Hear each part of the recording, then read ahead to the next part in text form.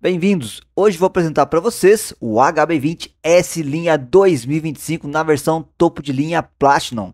Confira tudo que ele entrega de equipamentos e seu preço atualizado em um vídeo curto e objetivo. E se o assunto já te interessou, se inscreva no canal que tem vídeos toda semana de todas as montadoras com preços e versões.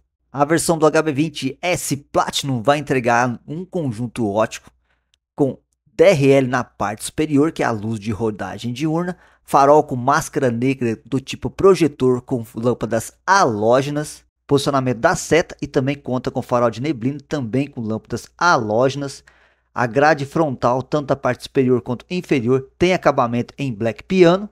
Lateral vai entregar rodas aro 16 polegadas, calçados com pneus com medidas 195/55, rodas diamantadas, retrovisores na cor do veículo e com pisca integrado maçanetas em cromado o acabamento. Na traseira, antena de teto do tipo barbatana de tubarão em black piano. Lanternas traseiras conta com lâmpadas halógenas, setas em funcionamento para vocês. Esta versão vai entregar câmera de ré e também sensores de estacionamento de série. A abertura do porta-malas fica posicionada aqui do lado do banco do motorista e o mesmo acontece para a abertura do abastecimento. Porta-malas tem capacidade de 475 litros, todo forrado, conta com iluminação interna, iluminação posicionada na parte superior. Esta versão vem com motor 1.0 turbo TGDI que rende até 120 cavalos de potência e um torque de 17,5 kgfm, associado a um câmbio automático de 6 velocidades convencional. E o consumo segundo Imetro na cidade ele chega a fazer 8.3 no etanol e na estrada 9.9. Com gasolina na cidade 11.7 e na estrada com gasolina 13.9. Comenta aqui embaixo o que você achou dos números. No interior, o que ele entrega? Vem comigo. Acabamento das portas em biton, aqui no encosto de braço em creme, maçaneta em cromado, porta-objetos na parte inferior.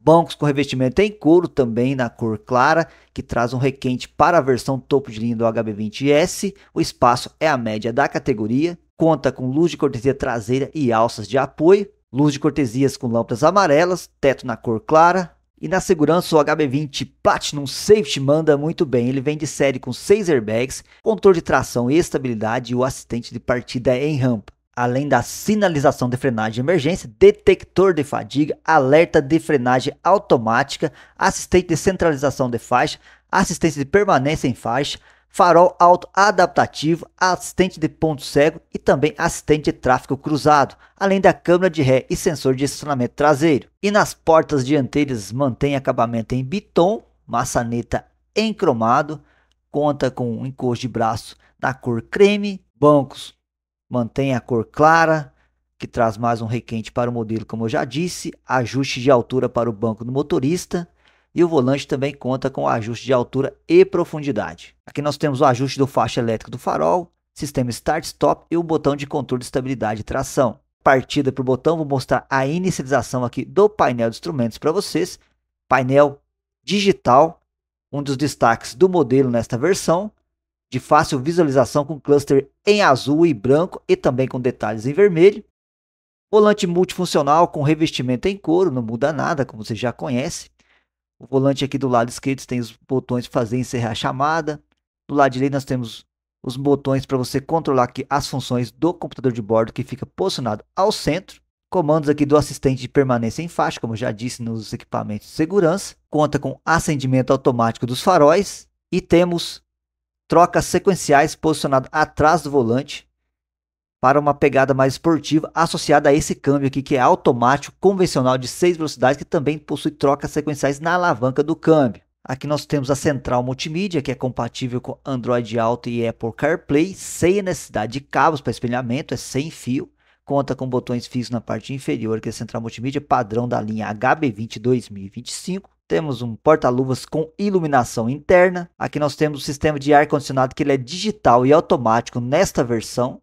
Que tem os controles de nível de temperatura. Né? Ar-condicionado digital de uma zona. Comandos físicos na parte inferior para controle do, do ar-condicionado digital. Inclusive desembaçador. Aqui nós temos o carregador de celular por indução que fica posicionado abaixo aqui da, do sistema de ar-condicionado digital.